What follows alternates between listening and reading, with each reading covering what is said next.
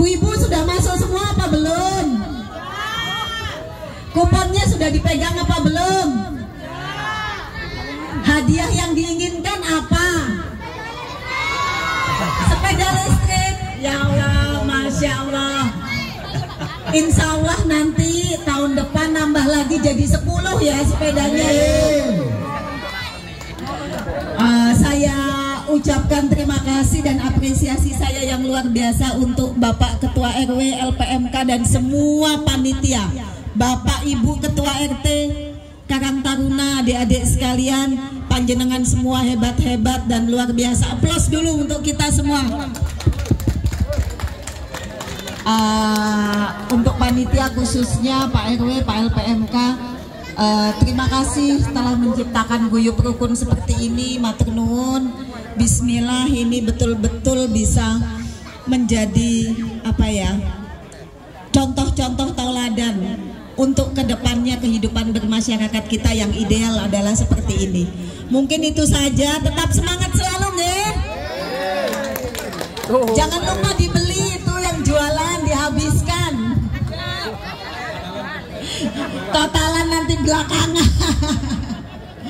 Matur nuwun terima kasih. Saya tutup. Wassalamualaikum warahmatullahi wabarakatuh.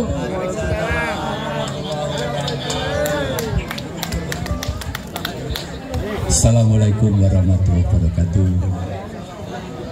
Yang terhormat Bapak Wawali Kemudian Bu Camat, Bu Lurah Seluruh staf RW dan kepanitiaan Yang pagi ini Merupakan rangkaian acara untuk memperingati ulang tahun Republik Indonesia yang ke-79 satu kehormatan kedatangan dari beliau-beliau untuk bisa hadir di acara ini.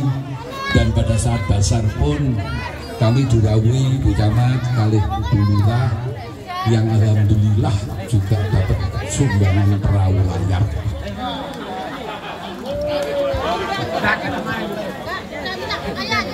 sekali lagi terima kasih terima kasih dan terima kasih Nah, saya mewakili dari uh, warga RW 3 satu kebanggaan untuk kita bisa merayakan uh, Hari Raya Kemerdekaan ini bersama dengan uh, masyarakat setempat.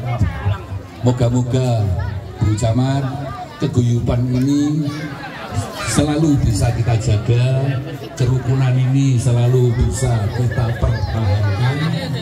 Dan UMKM kami pun bisa juga ikut membantu eh, roda dari perekonomian warga lagi. Terima kasih untuk para sponsor, utamanya BCA yang demikian luar biasa membantu eh, RW 3 bertepatan.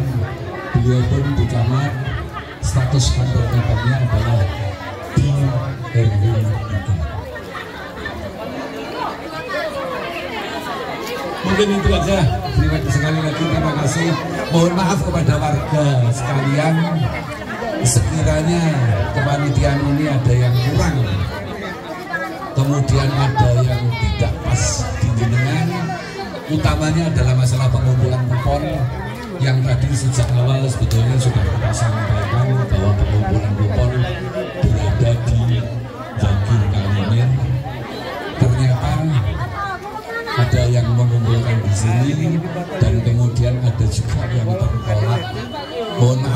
lagi mungkin kedisiplinan ini yang perlu kita jaga uh, untuk selanjutnya agar jalan sehat ini betul-betul untuk masyarakat Yagir. Saya akhiri akhirul kalam ibu nasiratul mustaqim wassalamualaikum warahmatullahi wabarakatuh.